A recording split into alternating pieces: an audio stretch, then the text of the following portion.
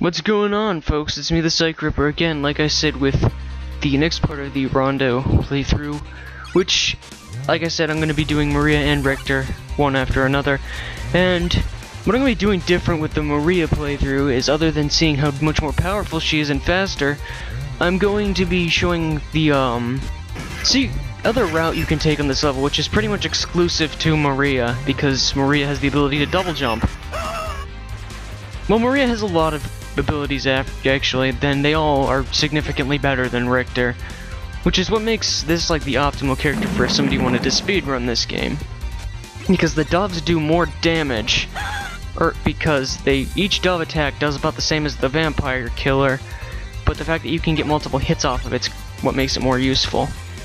Now, when you get down here, as you saw in the secret path, you do not want to go to the left because you get to fight this guy. And though he's not really a threat, if you don't know what you're doing, you're gonna get, you could, you might get a little few boo-boos on Mario with it, but otherwise, pretty, pretty easy. And, you know, it's ultimately avoidable. There's no necess there's no necessity to go that way. And other than me accidentally getting stuck in the floor, I'm not sure how I did that, we proceed immediately to the boss. This goes very fast, as you can't, as you could tell. There's two items you have an option to select for if you don't like the one you have. I have Maria's kitty cat, and that's just not going to do it for me. But ultimately, what you want in this room, for later on usage, if you do a full playthrough with it, which I'm not doing, I'm doing it level by level, is you want that urn because it has a lot of hearts in it. I believe there's 15. I grab the dragon because I find it very useful in this boss fight when I just rely on it, which isn't terribly often, but it's still useful. The dragon is a very powerful item or animal, whatever you want to call it. Though in most boss battles, if I'm going to use the item, I usually use the turtle shell because it has a very powerful item crash. So basically, the pattern with this boss is he jumps over the bridge twice and then does that and spits the water at you. It's pretty easy to get over if you double jump. Then he does this, which is, you know, it's spaced out evenly, so it's not, it's easy to get past.